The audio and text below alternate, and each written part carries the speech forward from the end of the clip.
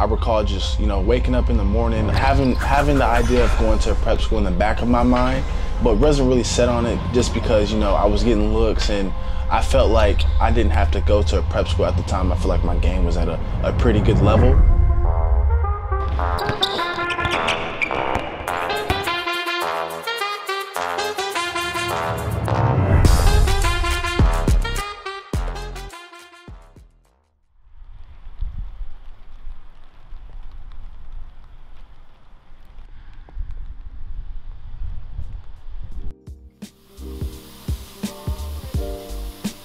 My name is Evan Guillory. I was born in Tulsa, Oklahoma. I currently play at New Hampton School um, on the East Coast, New Hampshire, and I'm committed to the University of Vermont. I have two big brothers, so I grew up watching them play and it really inspired me um, just to get on the court and, and, follow their steps. I started off playing in little leagues and, and stuff around um, local towns and, and, Joplin once I moved out here. I started playing AU ball. After that, it just it just took off and that's when I started playing on the circuits. Um, and now it's led me up to here to where I'm about to go to college.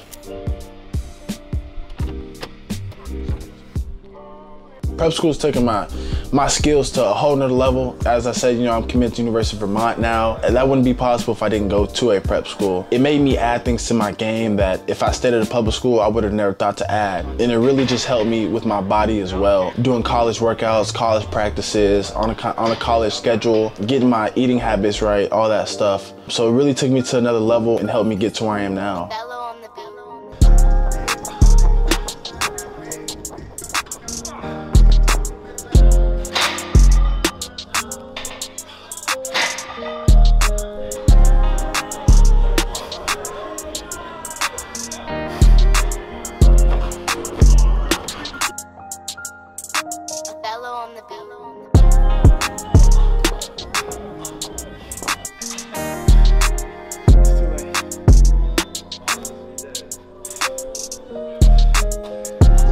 Got killed, man.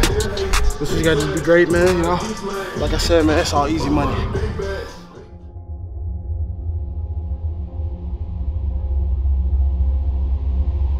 So the day I decided to make my decision to leave public school and go to a prep school, just remember it was it was a Wednesday. I actually had an ultimatum from my coach, you know, and he, some things were going on, and he kind of just told me, you know, you're you're with us or you aren't. I had to make a decision that day, and I just recall, you know, going home and just telling my mom, like, you know, it, it, it's time. A lifetime opportunity. You got to take it. So as soon as the opportunity presented itself, I told him to go ahead and do it. Uh, he went down there, he worked hard, and you see where he's at now. It all. Only my family had known, and I was like, man, how am I going to tell my friends? Uh, and it was just so crazy. And I just remember, you know, going to school, going to school that, that Monday right before I left for my plane and just telling everybody and just seeing the, the looks on their faces. You know, I, I even had a few people that I was reaching out to to, you know, say goodbye to thinking that uh, I wouldn't make it out there and that, uh, you know, it, it, wouldn't work for the best or it wouldn't work in my favor.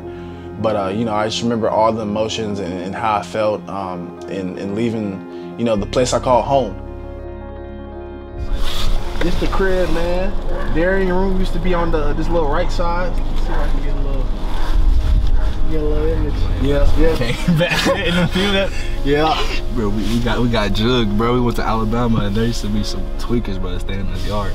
They climbed through our front window, bro. I had just turned 10. I remember this so vividly. I got the Wii. That's when it just came out. Came back, bro. They jugged everything in the house. Tweak. And the only thing that was left out was some uh, Ben and Jerry's ice cream that they was eating that they left on the floor.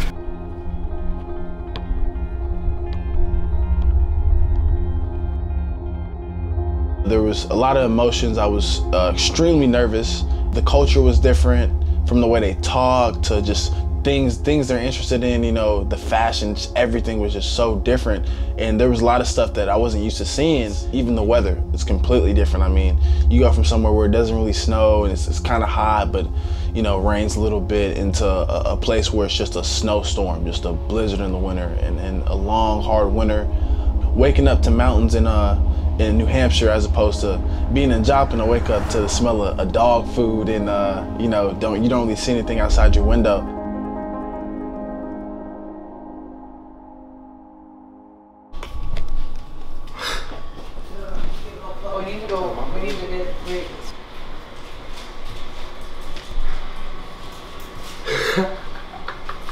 How much your coat cost, Willow?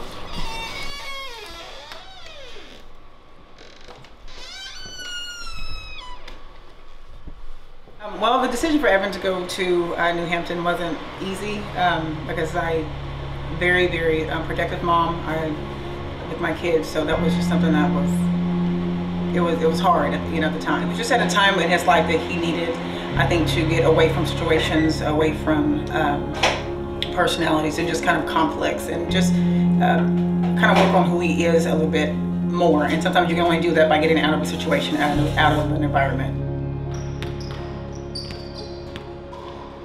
I just remember going to a prep school thinking automatically I was gonna go in there and I was gonna kill and, and I was gonna do well. And actually it was the opposite of that. I actually went there and I struggled for, for a while.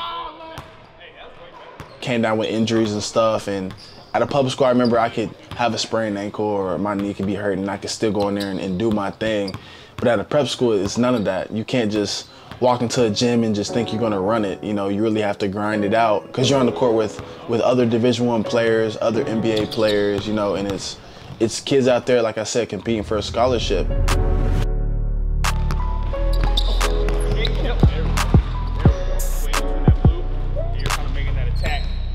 It really starts with, you know, seeing my, my family go so hard and, and work and my mother work so hard. Um, it really instilled um, a, a, tremendous work ethic in me and it made me who I am today. Um, you know, I want to be able to get to the highest level and, and get paid to uh, play the game, you know, that way. So, you know, she's worked her whole life for me. I can return the favor, you know, in the long run. College seems like Vermont is going to get a lot of excitement, um, a lot of athleticism, and you know, a, a really poised player um, in, in myself. And um, you know, nothing but great things uh, that they're going to get and receive.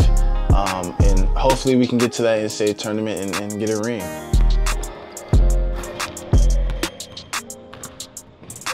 College basketball is going to be a long season. It's going to be hard as a freshman. Um, so, you know, I expect to struggle a little bit, but, you know, the struggle is what makes you great. So.